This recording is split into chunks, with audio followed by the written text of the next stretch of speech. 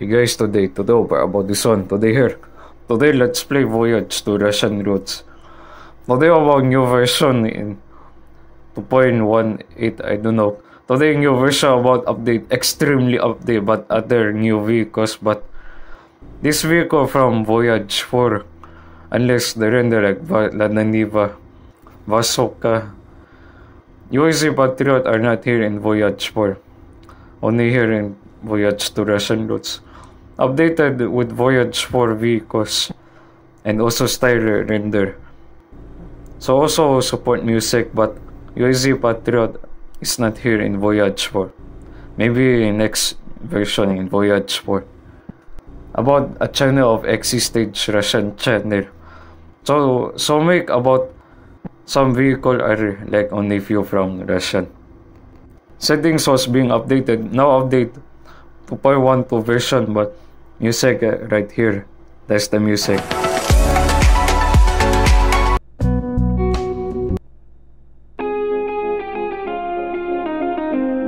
So we'll go to test Polygon and we'll check the shaders first. Voyage to Russian Road shaders. Just like high render. Okay, top speed. But style like those long length polygon in Voyage 4. When going to be about Chambo the career. But this style, the style render is Voyage 4 render. Some like larger, like more than 100 MB. But updated in all version, already away from the old version. Because the size, but only APK in Voyage to Russian roads. While playing in old version, so another, we'll go to other maps. The shaders are like Voyage to Russian Roads Trilogy. Looks like Voyage to Russian Roads Trilogy but shaders, shadows, white shadows. But updated into new version graphics. But with Voyage 4 UI style. The UI style is Voyage 4.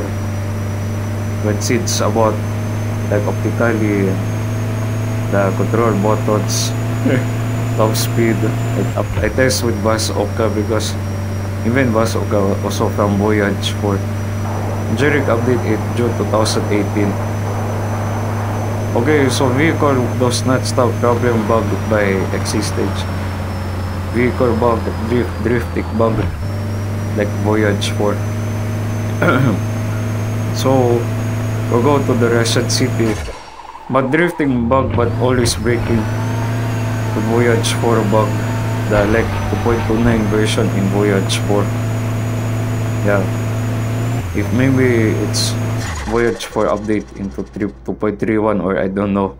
It's still here in Voyage to Russian Roads 2.12. Okay, don't forget to subscribe and like my video. Looks like stay in Voyage 4. Okay. So about the vehicle are like style in Voyage 4. So this one is Voyage to Russian Roads version 2.12. Okay, so today are nagduwa. Season, bye.